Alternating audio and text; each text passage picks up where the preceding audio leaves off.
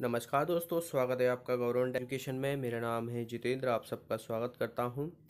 और इस वीडियो में हम कुछ डाउट क्वेश्चन भेजे गए हैं तो वो हम देख रहे हैं। काफ़ी आसान से क्वेश्चन है और क्वेश्चन मैं करा चुका हूँ, ऐसा नहीं है। तो जो करा चुका हूँ तो आप वापस वही क्वेश्चन ना भेजा करें। तो चलिए स्टार्ट करते हैं। जैसे कि पहला क्वेश्चन दिया हुआ है कि दो पुरुष एक निश्चित दूरी तय करते हैं। एक चार किलोमीटर प्रति घंटा दूसरा पाँच किलोमीटर प्रति घंटा की चाल से चल रहा है तो दूसरा पहले से आधे घंटा जल्दी पहुँच जाता है तो दूरी ज्ञात करनी है। काफ़ी आसान सा क्वेश्चन है। देखो, यहाँ पर अगर बात करें तो डिस्टेंस बराबर क्या होता है? स्पीड इनटू टाइम आपको यहाँ पर स्पीड दी हुई है और टाइम दिया हुआ है। तो आप क्या करो? देखो, निश्चित दूरी है, यानी दूरी दोनों की बराबर है। तो मैं क्या कर सकता हूँ? S one T one equal to S two T two ये कर सकता हूँ दोनों की क्योंकि ये दरअसल डिस्टेंस का ही का फॉर्मूला तो है। तो मैंने यहाँ पर दोनों को बराबर कर दिया। अब यहाँ पर बोला गया है कि पहला जो है वो चार किलोमीटर और कितने आ, मतलब टी टी टाइम मान लेता हूँ टी टाइम में वो पहुँच रहा है। और दूसरा क्या कर रहा है पाँच किलोमीटर से चल रहा है पर आधे घंटे पहले पहुँच जाता है। तो T minus one by two कर सकता हूँ इसको मैं इस तरीके से। तो आप देखोगे यहाँ पर ये कितना हो जाएगा ये हो जाएगा forty equal to five T minus five Y T, five Y two. Okay, पाँच बटा दो। तो पाँच बटा दो इधर जाएगा और फोर्टी इधर आएगा तो फाइव टी में से फोर्टी चला जाएगा। तो कितना हो जाएगा? टी बचेगा और ये आ जाएगा। तो समय जो निकला दरअसल वो निकला पाँच बटा दो। अब डिस्टेंस आपको पता है, डिस्टेंस बराबर क्या स्पीड इंटू टाइम। स्पीड कितनी दी हुई है? चार और टाइम दिया हुआ है टी। तो यहाँ पर पाँच बटा दो रख दूँगा मैं और ये कितना हो जाएगा? दस। तो दस किलोमीटर जो है इसका आंसर आ जाएगा। बाकी दूसरे में भी आप रख के दे सकते हो। देखो आ, कितना था? T minus one Y two ये था। तो इसकी जगह पाँच बटा दो रखूँगा ये कितना हो जाएगा? चार। और बच्चे में दो है तो चार से दो कट जाए दो से चार कट जाएगा तो दो बार जाएगा तो कितना आ जाएगा? दस। तो दस किलोमीटर ऐसे भी आ जाएगा। ओके? चलिए अगला क्वेश्चन देख लेते हैं। अगला क्वेश्चन है, अब ये वाला क्वेश्चन है, ये बहुत ही आसान क्वेश्चन है, अगर आप पे ऐसे क्वेश्चन नहीं बन रहे तो आपके लिए थोड़ा मुश्किल है, आपको काफ़ी मेहनत करने की ज़रूरत है मैथ्स में ओके तो देखो, यहाँ पर बोला गया है कि एक मानचित्र के पैमाने पर क्या बोला गया है कि one point five sorry five point four kilometre जो है वो दरअसल पॉइंट सिक्स सेंटीमीटर दर्शा रहा है ओके और यदि मानचित्र पर दो बिंदुओं के बीच की दूरी दी हुई है, पैंतीस सेंटीमीटर तो उनके बीच की वास्तविक दूरी क्या होगी? किलोमीटर में निकाला हुआ है। आपको पता है कि पॉइंट सिक्स सेंटीमीटर जो है, किसके बराबर है? फाइव पॉइंट फोर किलोमीटर के। तो यहाँ से मैं ये दशमलव से दशमलव काट दूँगा और छः नाम चौवन नौ बार जाएगा। तो एक सेंटीमीटर बराबर कितना हो जाएगा? नौ किलोमीटर।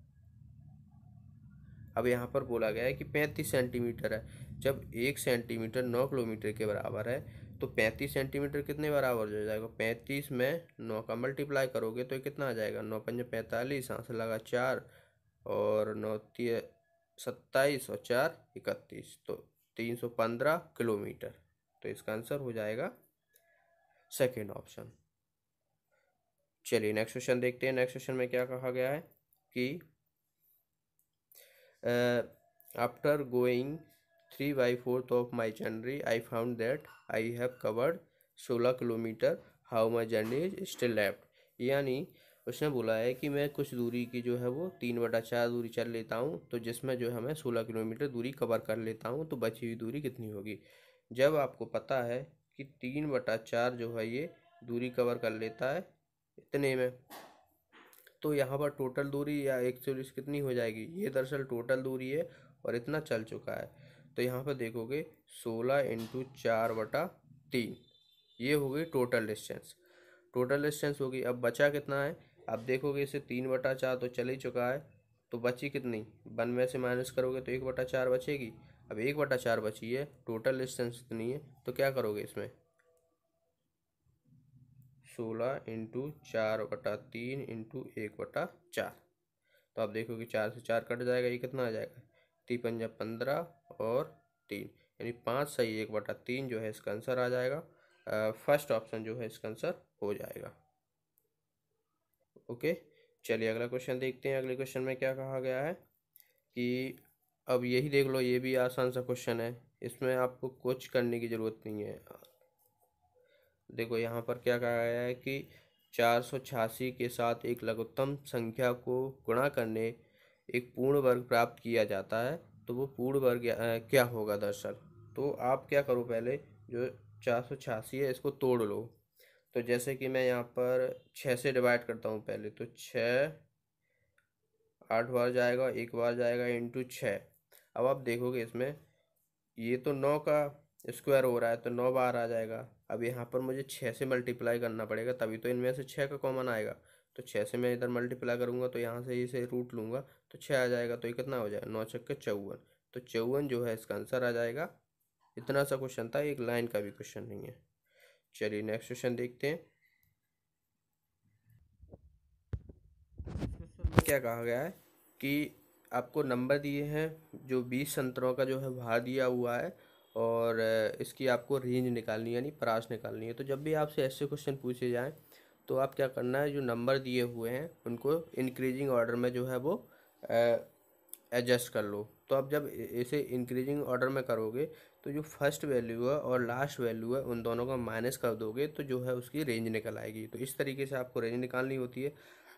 तो आप देखोगे यहाँ पर तो आप सीधा सीधा देख सकते हो यहाँ पर सबसे बड़ी संख्या देखो कौन सी है यहाँ पर? तो सबसे बड़ी संख्या जो है यहाँ पर 204 है और सबसे छोटी संख्या यहाँ पर आप देखोगे तो जो है 69 है।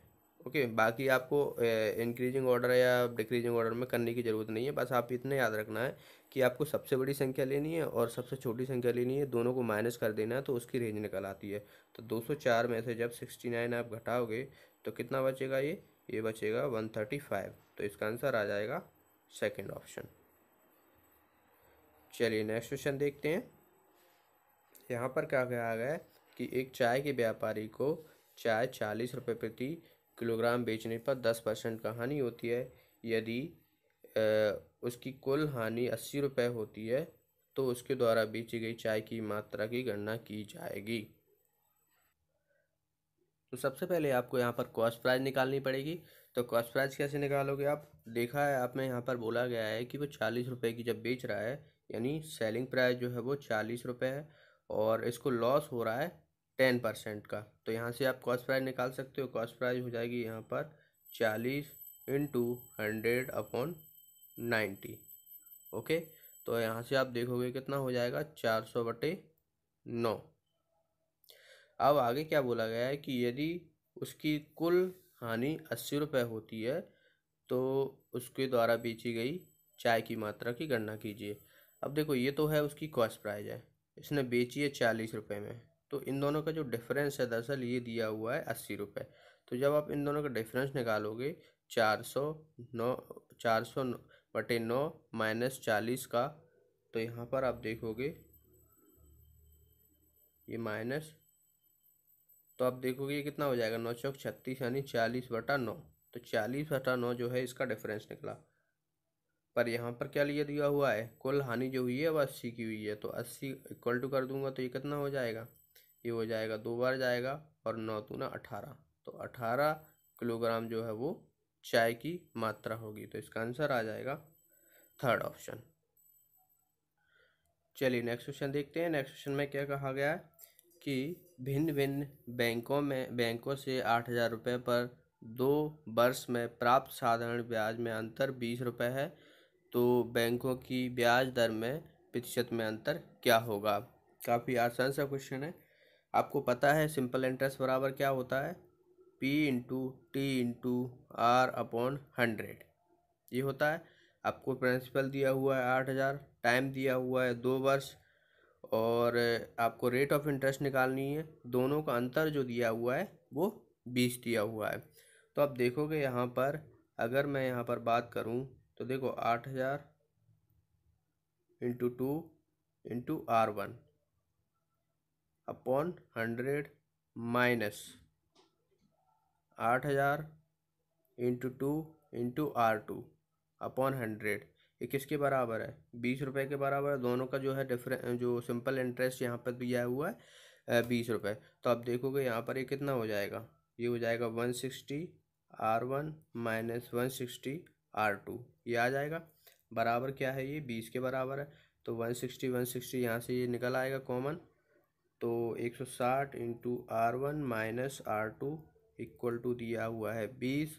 तो आप देखोगे R one minus R two equal to बीस बटा एक सौ साठ तो ये कितना हो जाएगा? एक बटा आठ।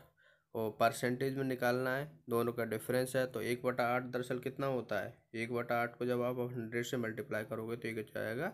साढ़े बारह परसेंटेज तो बस इतना कुछ इस क्वेश्चन में करना था आपको। इसका आंसर आ जाएगा थर्ड ऑप्शन चलिए नेक्स्ट क्वेश्चन देखते हैं। नेक्स्ट क्वेश्चन में क्या कहा गया है कि एक ही आयु, उसके पुत्र की आयु की छः गुनी है एक के पिता की आयु उससे चालीस वर्ष अधिक है तो उन सबकी कुल आयु एक सौ अठारह वर्ष है तो एक की आयु कितनी होगी? ये भी क्वेश्चन मैं करा चुका हूँ। ओके? तो अब देखिए यहाँ पर क्या बोला गया है। पहले एक ही आयु दी है उसके पुत्र की आयु की छः गुनी। तो मैंने इस तरीके से एस को सन से डिनोट कर दिया है और ए को जो है ए से डिनोट कर दिया है। अब ए के पिता की आयु उससे कितनी है? चालीस वर्ष अधिक है। तो मतलब अगर मैं चालीस जो वर्ष है ए में जोड़ दूँगा तो उसकी पिता की आयु के बराबर हो जाएगी। बाकी यहाँ पर तीनों का जो है योग दिया हुआ है एक सौ अठारह। तो ये आप देखोगे यहाँ पर A plus father plus son equal to एक सौ अठारह। बस यहाँ से इनकी वैल्यू उठा के रख दो क्योंकि आपको ए की वैल्यू निकालनी है। तो ए की वैल्यू यहाँ से निकलेगी ए वाई सिक्स तो एस की जगह मैं ए वाई सिक्स रख सकता हूँ और एफ़ की जगह ए प्लस फोर्टी रख सकता हूँ। तो मैं यहाँ पर रखूँगा A plus A Y six plus A plus forty equal to एक सौ अठारह। तो ये टू ए हो जाएगा। यहाँ से कटा दूँगा। ये चालीस इधर ले जाके नहीं, माइनस कर देता हूँ इसमें से एक सौ अठारह में से। तो कितना हो जाएगा? Seventy eight. और यहाँ पर क्या बचा? Two plus A Y six तो मैं इसको यहाँ से two A plus A Y six equal to seventy eight. तो आप देखो कि छः दूनी बारह, एक तेरह। तेरह बटे छः ए हो जाएगा ये। तो बराबर कितना है? सेवेंटी एट के। तो तेरह छंग अठहत्तर छः बार गया और छः दर है तो छः से मल्टीप्लाई हो जाएगा तो एज इक्वल टू आ जाएगा six into six is equal to thirty six बस इतना था आपको इसमें करना था। तो इसका आंसर आ जाएगा छत्तीस बस। चलिए नेक्स्ट क्वेश्चन देख लेते हैं। ये क्वेश्चन दोबारा हो गया रिपीट ओके तो ये वाला हम देख लेते हैं।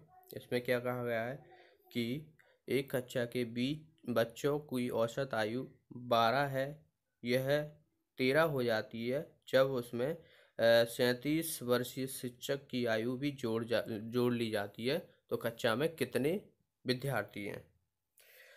तो सबसे पहले यहाँ पर देखोगे आप, पहले कितने थे? बारह थे। औसत जो है वो बारह थी। मैंने मान लेते जो स्टूडेंट है, उनकी जो संख्या है वो एक्स है।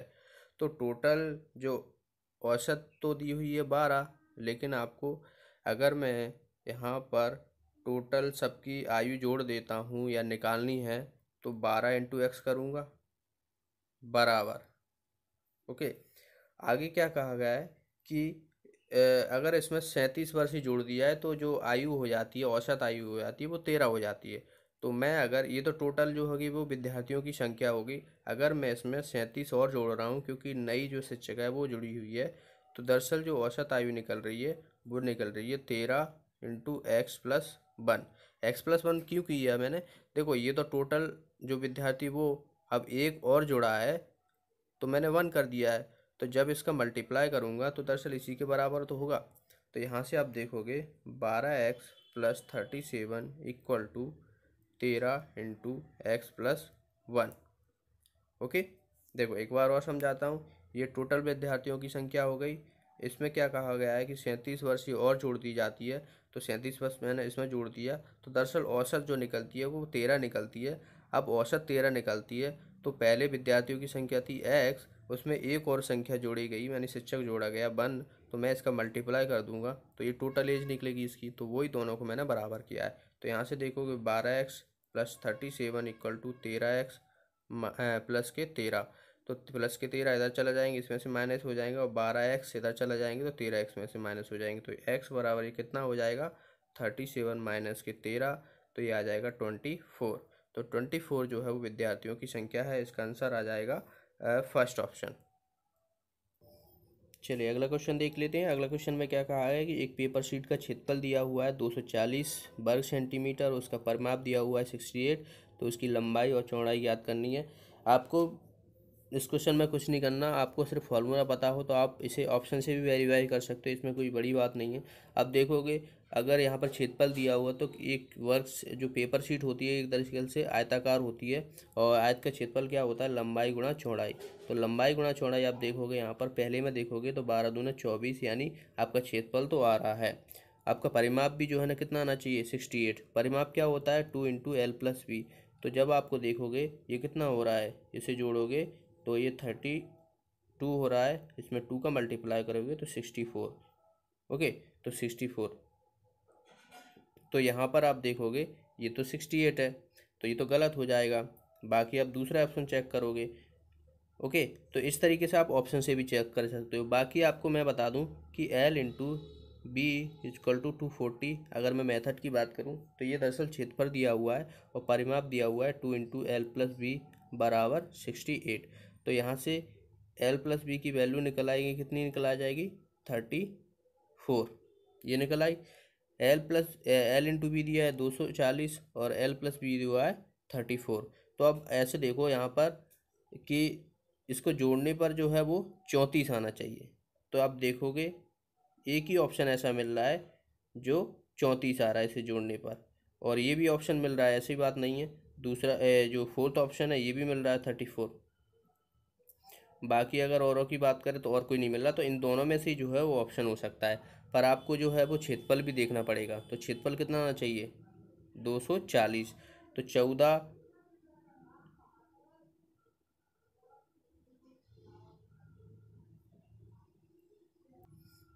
तो जब आप यहाँ से देखोगे कि 240 जो है, जब इसको मल्टीप्लाई करोगे तो 240 नहीं आ रहा है। ये कितना रहा? चौदह दूनी अट्ठाईस, यानी 280 आ रहा है। तब आपको चाहिए 240 तो आप इसे जो है लास्ट का जो ऑप्शन हो जाएगा, इसका आंसर आ जाएगा।